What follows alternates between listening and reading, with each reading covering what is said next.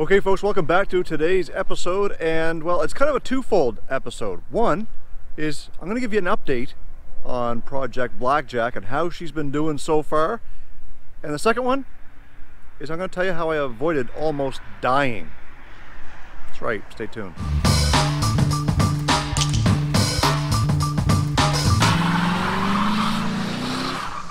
So, first off, I want to tell you how much I'm enjoying driving this $900 car.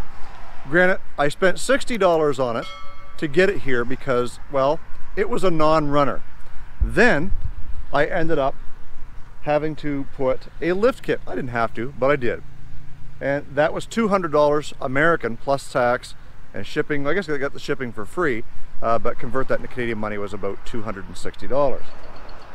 My buddy Dustin gave me a really good deal on these 265 70 16 inch tires, so 31 inches tall. And we got everything put together and with a little bit of help from my son Junior and uh, my mechanic Tim, we got the lift kit put on. So to date, we've been driving this thing for a few weeks now. I drove it all this week and you know what? I had to say that so far, this car was a handful to drive with the lift kit. The first couple of days, no big deal.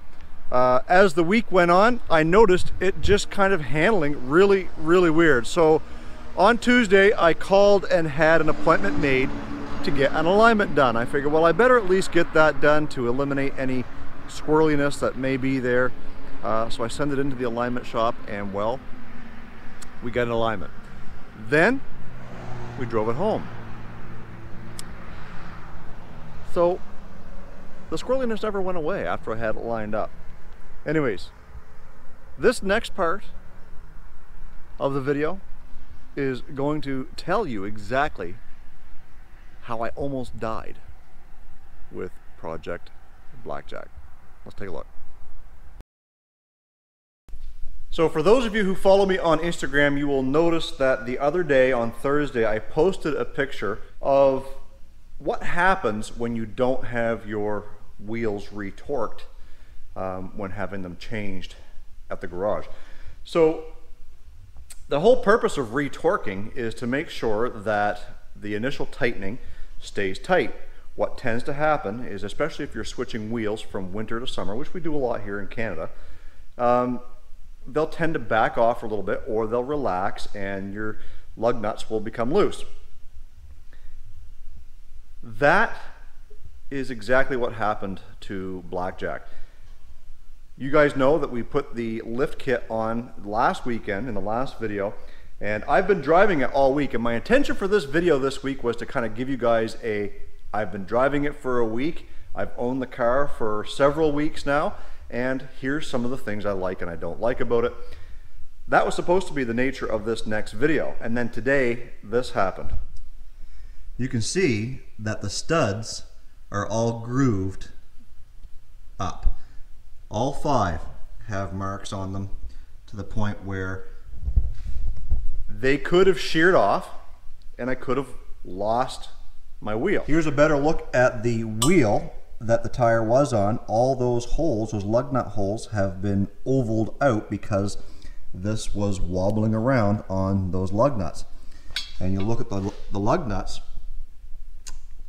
and even they are all chewed to pieces, all five of them. So this could have been a lot more catastrophic had I not caught it. And what made me catch it was, uh, this is Thursday at the recording of this video. On Tuesday, I noticed the car getting a little bit, you know, wonky. I don't know what other word to use, but it seemed to be wandering on the road. And I chalked it up to, well, you know what, I should get this thing lined up. It's time to get it lined up. So I sent it in yesterday and had the alignment done. By the way, this wasn't caught um, when the alignment was done. I drove it back from the alignment shop thinking, this is no better uh, than what it was before I sent it in. Came home that night, I came back out that night to help a buddy change some tires on his car.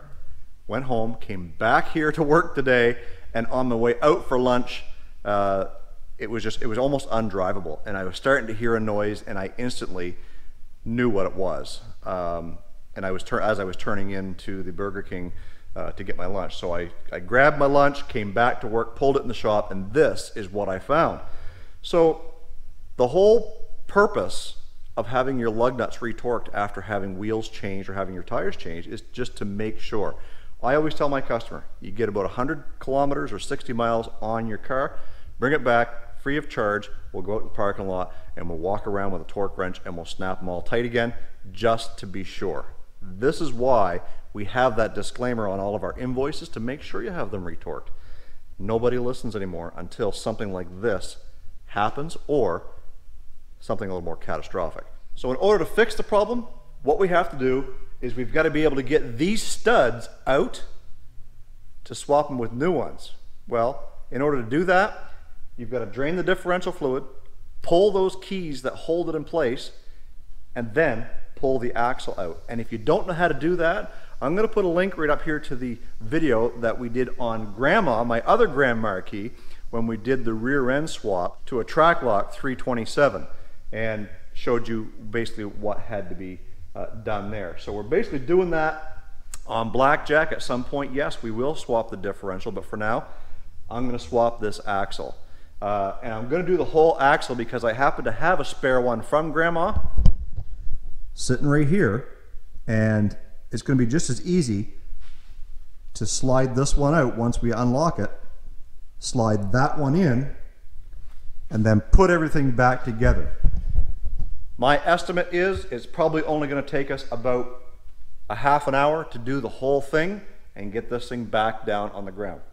So I'm going to do that and then when we're done with that, we're going to continue this video for its initial purpose and that was telling you how we like the car so far in the few weeks of ownership since we've had it and the week since we've put this lift kit on. So I'm going to come back to you guys here in a minute. We'll take it for a ride. All right, so we've got this axle swapped out, so the new lugs, uh, studs, and the new lug nuts are on it. It literally didn't take me that long to swap out the axle. It took me longer to get that 10 millimeter bolt back into the ABS sensor. And to get the rear diff cover cleaned up so that we could silicone it back into place. As luck would have it, I don't have any rear end grease to put back in this thing, so it's going to have to wait till tomorrow morning till I can get some. Nevertheless, we will get on this ride just as soon as I get the diff fluid put back in it, so we'll catch up with you then. So guys, now it's time that we go out for a little drive and talk to you about my enjoyment on owning this car since I bought it. But can you believe it? It's like 6 o'clock in the evening and it's already blackout. Anyways, let's go for a drive. So a couple of things to note about this car um, that I've noticed since I've bought it is there's a few little things that I'd like to work on trying to figure out how they work. One of them is, well, if you go back to the video where we bought the vehicle and it was a no start, we found out why it wasn't starting. The valet switch on the remote start. I got up underneath the dash and I found out that the remote start is an actual Ford remote start system, which I assume is installed by the dealerships when the cars are bought new. So I'd like to find a remote control uh, and get that programmed for this car because, well, in Canada, it's good to have your cars warmed up before you hop in them. So being able to remotely start the car would definitely be an advantage. The other thing is the check engine light.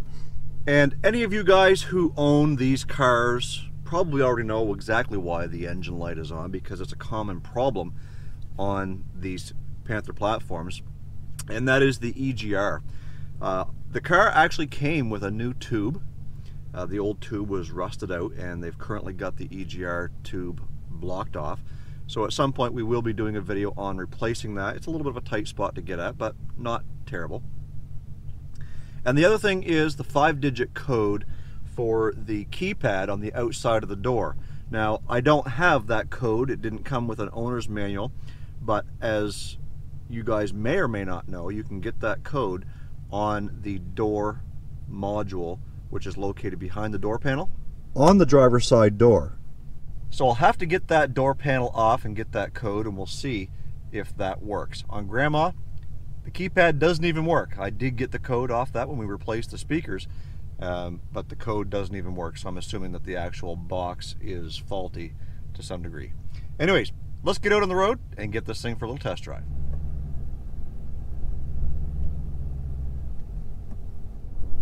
Now another little thing that we noticed when we were changing the uh, axle on this car was the differential tag was actually still there and I didn't think it was at first but the tag told us that it's got the original gears in it the 273 same as grandma. So we will be upgrading the gears on this at some point. Not sure which ones I'll go with. It'll all depend on what I can find likely. Uh, 327 seem to be uh, the most common ones out there. The other thing that we found out with this car is that the speedometer is off, and rightfully so. You know, the car originally likely came with 225 60 16 tires, which are probably somewhere around a 26 inch tall tire. And now we're running 31 inch.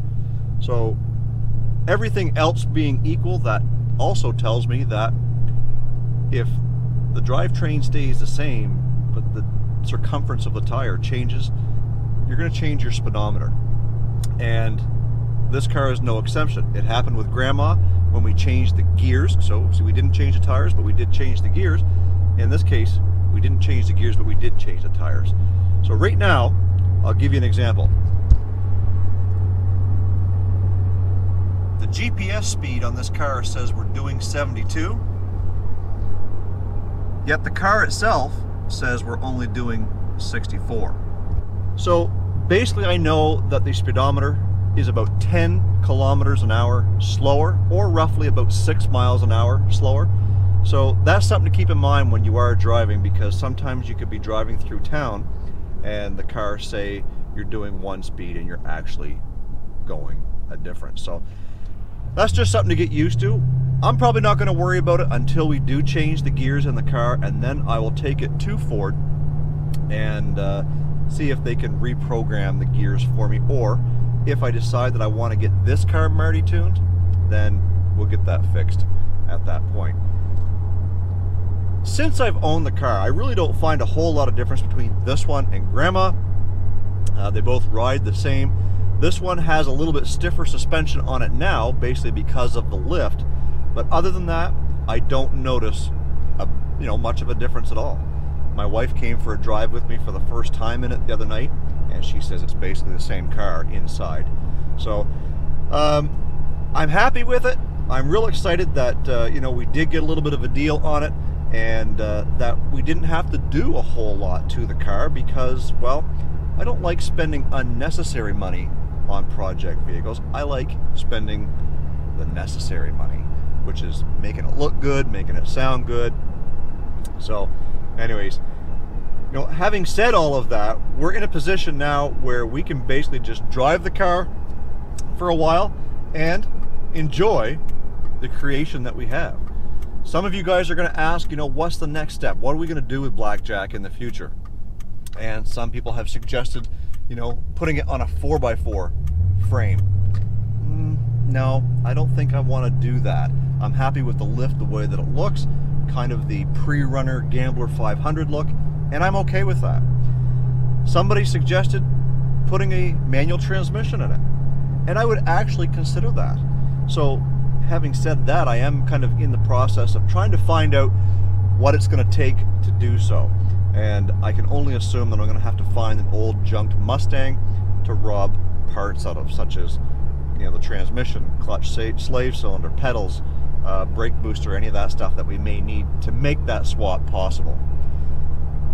And the big one that a lot of you have suggested over the years, ever since I've owned Grandma, uh, is either turboing, supercharging, pro-charging, some sort of a forced induction on one of these cars. So I can pretty much guarantee you that if I do anything to Blackjack, it probably will be a cheap eBay turbo, uh, something that we can do on the cheap if I do something with grandma, it may be something more along the lines of a supercharger or pro charger, but that won't be for a while down the road. As we know, those things are expensive, and well, quite frankly, YouTube's not paying me that much yet. So if you guys want to see some of those mods done to either one of these cars, we've got to get the channel grown so that we can get a little bit more ad revenue and to be able to afford to do some of these better projects.